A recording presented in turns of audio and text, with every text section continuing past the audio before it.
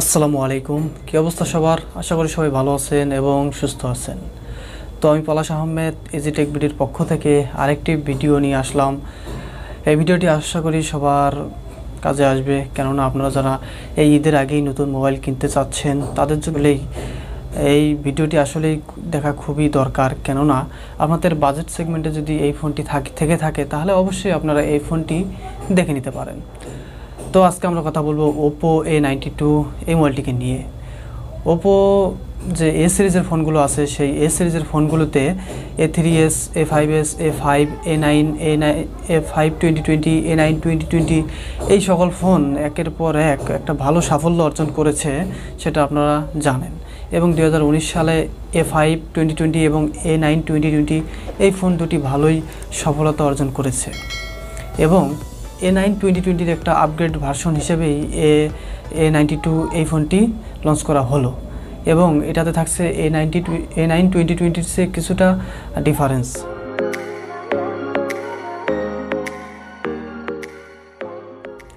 তো চলুন এই ফোনটির প্রথমেই বিল্ড কোয়ালিটি এবং এর ডিজাইন নিয়ে কথা বলা যাক।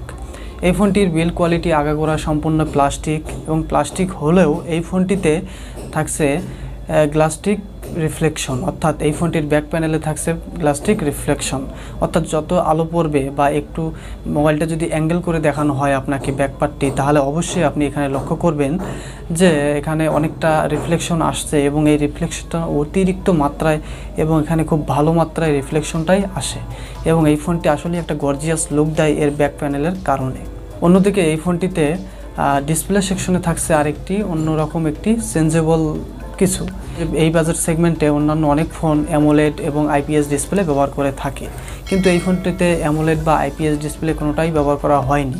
কিন্তু এই ফোনটিতে ব্যবহার করা হয়েছে টিএফটি প্যানেল এবং এই ডিসপ্লেটির ইঞ্চ হচ্ছে সিক্স পয়েন্ট ফাইভ ইঞ্চ এবং এই ফোনটি সিক্স পয়েন্ট ফাইভ ইঞ্চ হওয়াতে এখানে টিএফটি প্যানেল ব্যবহার করেছে এবং এই ডিসপ্লেটি অবশ্যই ফুল এইচডি প্লাস এবং এখানে যেমন Oppo A nine twenty twenty ফোনে ছিল অনলি এইচডি প্লাস তবে আপনারা এখানে কিছু আপগ্রেড পাচ্ছেন। এবং বাজেট সেগমেন্টে দেখা গেল যে বাইশ হাজার নয়শো নব্বই টাকায় এই ফোনটি ওভারঅল ভালোই। এবারে বলা যাক এই ফোনটির ক্যামেরা সেকশনে কি থাকছে।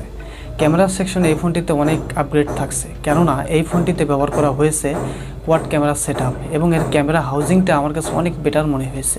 কোয়াড ক্যামেরা সেট আপের মেইন শুটারটি হচ্ছে ফর্টি এইট মেগাপিক্সেলের ক্যামেরা এবং এটি হচ্ছে ওয়ান ওয়ান পয়েন্ট সেভেন অ্যাপারচারের ক্যামেরা এবং এটি এটি শিওরলি এটা হচ্ছে সোনি আইএমএক্স ফাইভ এইটি সিক্সের ক্যামেরা এবং আপনারা জানেন সোনির IMX five eighty six forty eight megapixel camera আছে।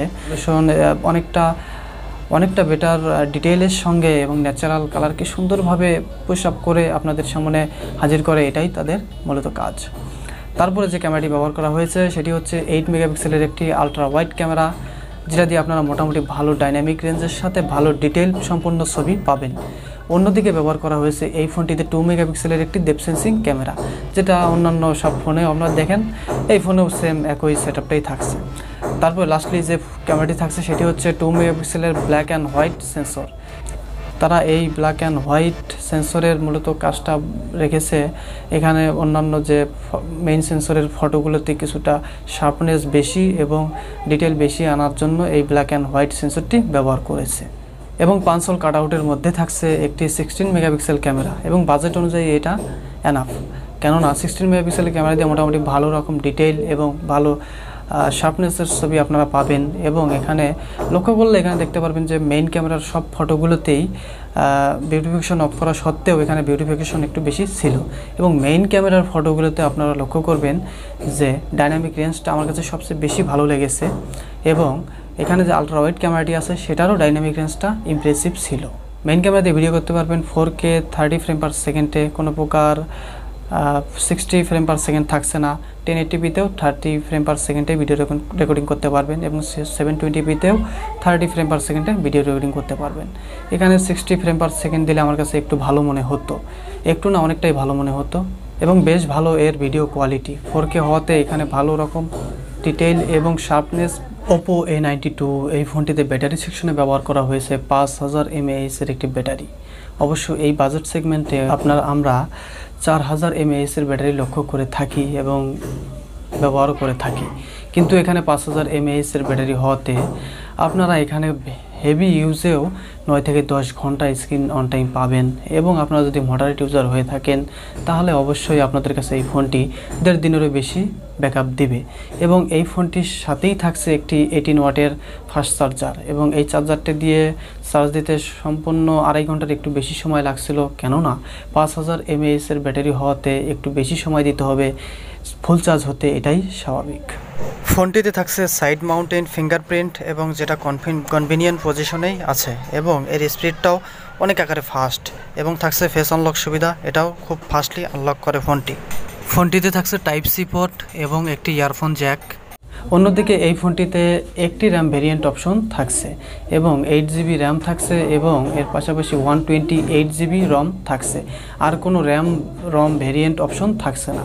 অবশ্যই আট জিবি র্যাম এবং একশো আঠাশ জিবি ইন্টারনাল স্টোরেজ আপনাদের কাছে হিউজ পরিমাণ মনে হবে। কেননা, এটা আসলে হিউজ পরিমাণ। আট জিবি র্যাম মানে অনেক কিছু। একশো আঠাশ জিবি রম মানে আপনাদের কাছে অন্য আরেকটা মেমোরি কার্ড ইউজ করা লাগবে বলে আমার মনে হয় না। অবশ্যই এই ফোনটিতে থাকছে ডেডিকেটেড সিম কার্ড স্লট যেখানে দুটি সিম একটি মেমোরি স্লট করতে পারবেন। এটাও একটি এই ফোনটির সুবিধাজনক এবং ভালো দিক। অপারেটিং সিস্টেম হিসেবে এই ফোনটিতে থাকছে অ্যান্ড্রয়েড টেন এবং Android ten based ColorOS seven point one UI আপনারা পাচ্ছেন এবং সেভেন পয়েন্ট ওয়ান ইউআই অনেক ক্লিন এবং পলিশড এবং কাস্টমাইজ ইউআই আপনারা এখানে কোনো প্রকার ল্যাং বা হ্যাং হ্যাংয়ের ইস্যু পাবেন না।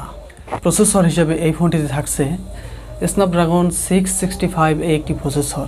যদিও আমাদের কাছে একটু বেমানান মনে হয়, এই সিক্স সিক্সটি ফাইভ প্রসেসরটা দুই হাজার উনিশ সালে মোটামুটি একটা হাইপ বা সেই সময় ট্রেনিং ছিল। কিন্তু এখন বিশ সালে স্ন্যাপড্রাগনের সেভেন সিরিজের প্রসেসরগুলোই রানিং এবং এই সেভেন সিরিজের প্রসেসরগুলোই আমাদের কাছে ভালো লেগে থাকে বাজেট এই বাজেট রেঞ্জে কিন্তু এখানে সিক্স সিক্সটি ফাইভ দেওয়াতে কিছুটা বেমানান এবং অল্প বলে মনে হবে আমাদের কাছে।